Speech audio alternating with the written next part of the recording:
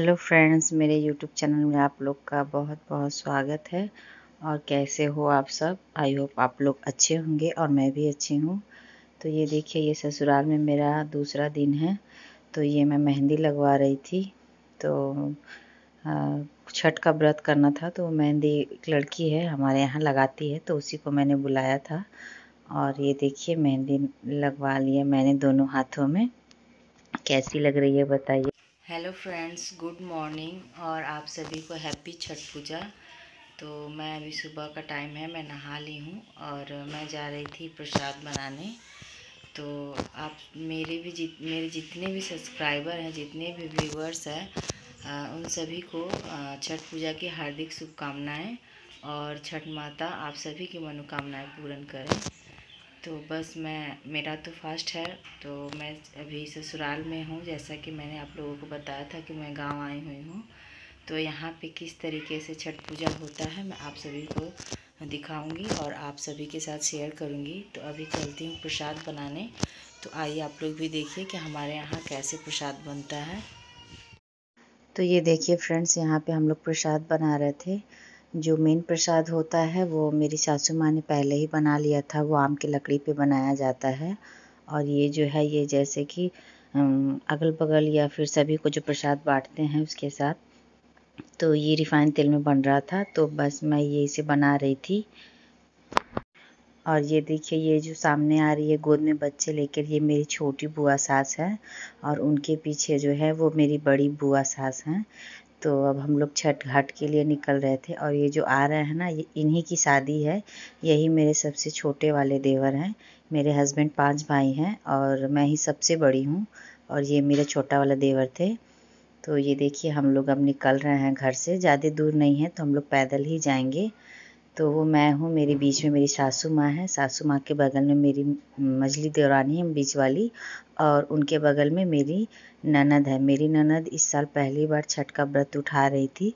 तो कहते हैं पहला छठ मायके में ही किया जाता है या फिर मायके की साड़ी हो। तो हमारे घर में शादी भी थी। तो इस वजह से उनको आना ही था। तो इस, इसलिए यहीं से वो पहला छठ कर रहे हैं। और ये देखिए हमारे यहाँ छठ घाट का ये नज़ारा कितना अच्छा लग रहा है। ये शाम के टाइम का है और ये पहला अर्घ जब दिया जाता है शाम का, वो उस टाइम का है ये। तो बस हम लोग वही पूजा कर रहे थे। मैं जितना कोशिश की हूँ, आप लोगों को दिखा सकती हूँ, उतना मैंने किया है। और हाँ वीडियो को स्किप मत करिएगा। वीडियो शायद थोड़ी लंबी हो जाए, क्योंकि मैंने दोनों टाइम का ही ऐड कर दिया था। मैंने दो बार में नहीं बनाया शाम का और सुबह का। मैंने दोनों एक साथ ही कर दिया है वीडियो कि क्योंकि आप लोग समझ सकते हो टाइम की कमी है, ससुराल में आई हूँ, परिवार में हूँ तो सब कुछ मैनेज करना पड़ता है, उसमें सब समय भी निकालना पड़ता है तो उस हिसाब से और अभी तो बहुत ही घर में भीड़ भाड़ है, सभी जुटे हुए हैं तो और अभी और भी लोग आने वाले हैं शादी में तो और भी ज़्यादा हो जाएगा तो ये तो फ़िलहाल पूजा थी तो ये देखिए हम लोग छठ पूजा कर रहे थे और आप लोगों के यहाँ कैसे होता है, आप लोग बताइएगा ज़रूर। लगभग सभी के यहाँ ऐसे ही करते हैं। थोड़े बिहार में थोड़ा अलग होता है, जैसे कि खरना होता है तो हम लोग के यहाँ खरना नहीं होता है। और देख, माना जाए तो वही मतलब असली छठ है जो लोग खरना करके व्रत करते हैं, वो दो दिन का होता है, तीन दिन का होता है तो वही असली है। तो हम लोग वो वाला नहीं करते हैं। मेरे ससुराल में वैसे नहीं होता है बोल के हम लोग भी वैसे नहीं करते हैं। और ये जो लाइन से जितने लोग खड़े ये सभी मेरे फैमिली मेंबर ही हैं। जैसे मेरे चाचा ससुर की बहू, उनकी बहू की बहू मतलब सारे फैमिली हैं। और वो सबसे मैं मिलवाऊँगी कभी कभी फुर्सत में, क्योंकि सभी लोग कैमरे में नहीं आना चाहते हैं। इस वजह से मैंने नहीं बताया। और ये देखिए, यहाँ पे हमारे यहाँ कोसी भरी जाती है। अगर मानसिक हो या फिर बच्चे होते हैं तो तो ये मेरी जो मछली वाली देवरानी है तो उसके जुड़वा बच्चे हुए थे। तो बस वही कोसी हम लोग भर रहे थे, जैसे कि एक लड़का था, एक लड़की तो लड़के का भरा जाता है। और जो एक और था, वो मेरी ननद का था। तो उनका भी बाबू हुआ था तो उन्होंने भी मानसिक किया था। तो एक उनका था। और ये जो है, ये सुबह के टाइम का है, भोर के टाइम का। तो ये देखिए ये जो कोसी है, ये अब उसको मतलब बहवा दिया जाता है गंगा जी में।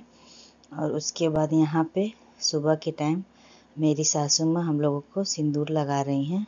तो मुझे ऐसे सिंदूर लगाना बहुत ही अच्छा लगता है, नाक से लगा के और ये ऊपर तक।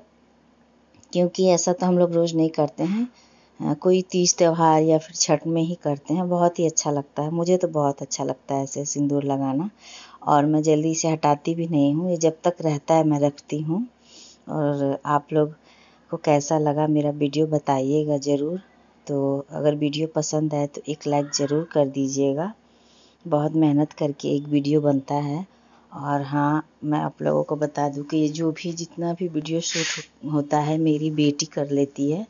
और एडिट वगैरह भी मतलब वही करती है। ज़्यादातर वही मुझे फोर्स करती है कि मम्मी आप बोल दीजिए, आप बोल दीजिए, मैं एडिट कर दी हूँ। तो मुझे मतलब थोड़ा हेल्प मिल जाता है, थोड़ा क्या बहुत ही मिल जाता है। वो मेरा बहुत ही सपोर्ट करती है, मेरे साथ मेरा मतलब बहुत ही ज़्यादा हेल्प करती है। और ये देखिए, यही है वो छोटे छोटे जुड़वा बच्चे मेरे बीच वाले देवर के। और ये सुबह के टाइम जो अर्घ होता है तो मेरे घर वाले जो थे, वो सब दे दिए थे। और ये कोई और भी था अगल बगल के होंगे। तो जैसे कि होता है बहुत लोग होते हैं कि ज़्यादा लोगों को देते हैं तो देना चाहिए क्योंकि अच्छा माना जाता है। और ये देखिए यहाँ पे आ, किसी ने जैसे होता है कोई मानसिक करते हैं मन्नत मांगते हैं कि हम मतलब छठ घाट पे नाच करवाएँगे तो बस ये वही था। तो वही हम लोग सुबह के टाइम देख रहे थे। और ये देखिए सब कैसे डांस कर रही थी। अच्छा लगता है देख कर ये सब। तो ये सब हम लोग को गाँव में ही देखने को मिलेगा, कहाँ शहर में ये सब होता है। और होता भी है, लेकिन ज़्यादातर गाँव में ये सब अच्छा लगता है। और अब हम लोग घर के लिए जा रहे थे तो हमारा पूजा हो गया था। और ये देखिए, हमारे गाँव के खेत, खलिहान, धान हुआ था। अब मतलब धान कटाने का सीज़न है तो कहीं कहीं कट गए थे। हमारे खेत के धान तो सारे कट गए हैं। और कहीं कहीं बाकी हैं।